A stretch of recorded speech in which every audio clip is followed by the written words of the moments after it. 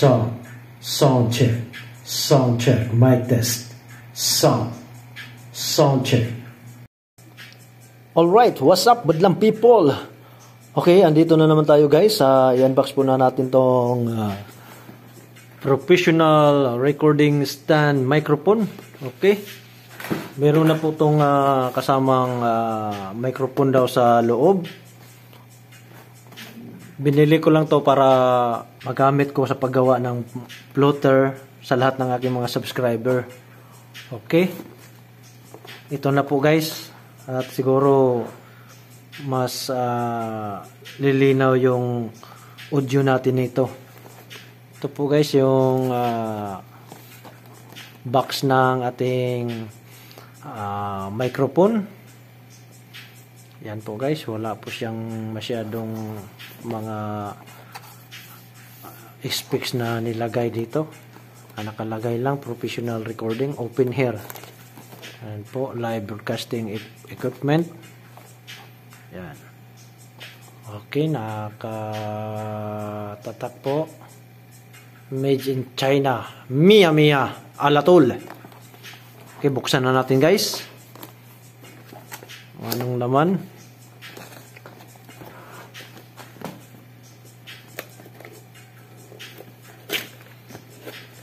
Okay. Baliktad. Yan guys. Okay. Bumungad natin yung user manual. Okay. Ito po. Babasahin nyo lang to kung gusto nyong basahin. Sa akin, ayaw ko nang basahin yan. Ang susunod, yung uh, filter. Yung filter guys. Uh, nabili ko po to sa Ramania sa halagang 90 real. 90 real lang to guys. Kasama na po to yung uh, sa isang box. 90 real yan. Okay. Yan ang kasama niya. Filter. Tapos may microphone wire siya guys na 3.5 mm jack. Yan. Tapos yung lalagyan na ng microphone. Guys yan. ito yung lalagyan na ng microphone. Yan. Yan mo ipas lang at yung bracket guys. Tapos ito na yung stand yan stand matibay naman. Parang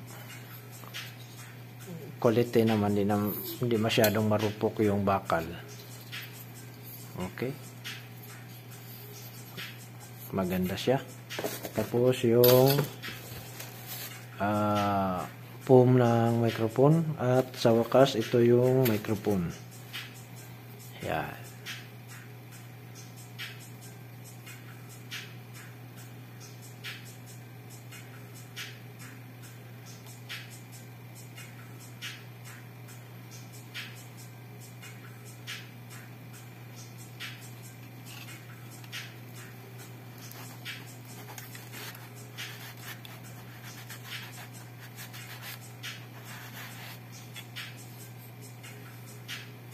Okay yan po guys. Tapon na natin yan. Sinamahan ko pala to ng ano guys, yung XLR na wire.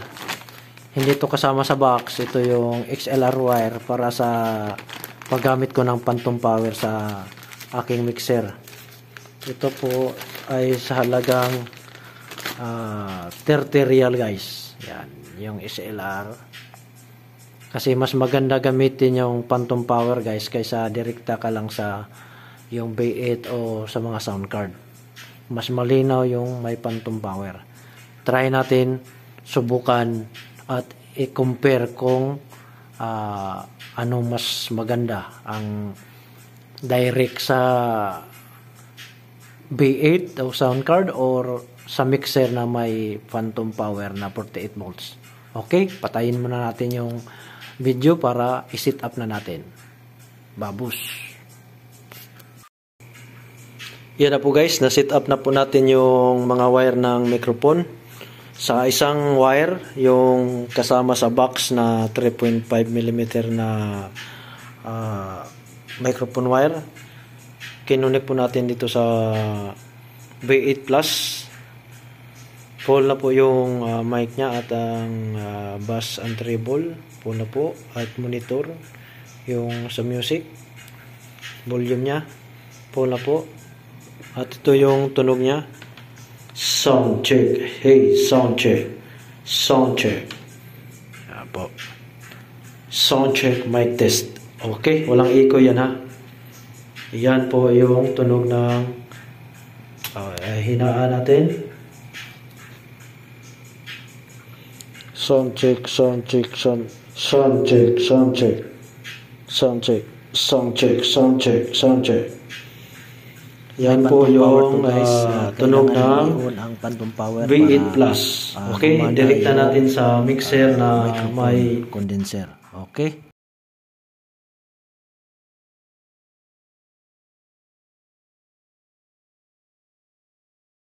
Connect natin yung XLR wire.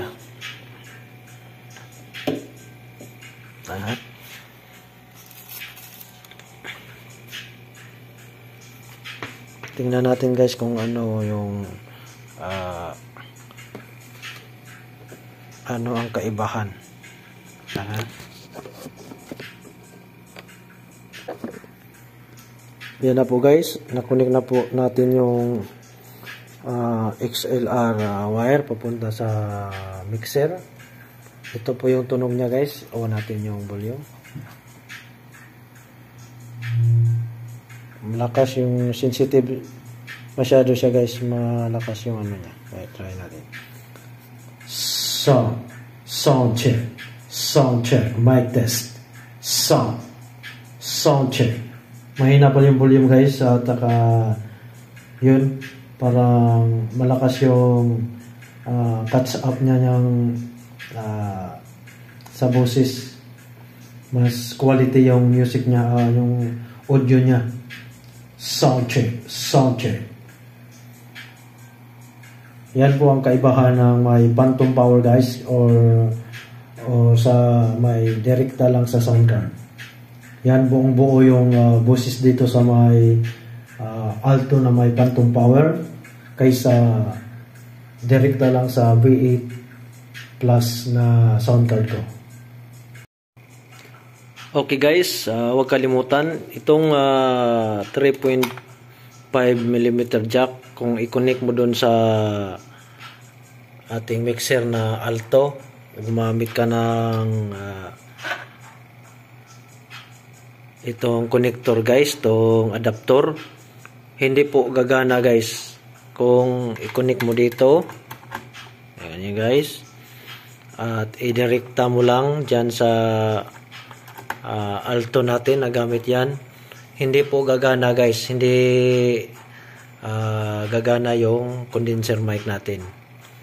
Gagana lang po siya kapag XLR yung gamit natin at i-on yung phantom power. Okay guys? At itong 3.5 gagana lang po to pag dito sa may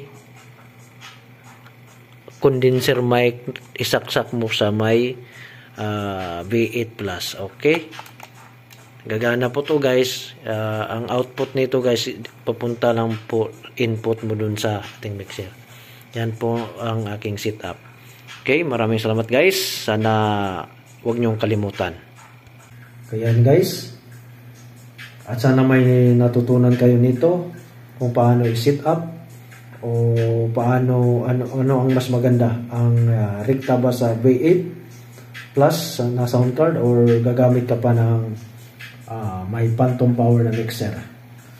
Okay, this digital production and maraming salamat guys. God bless all.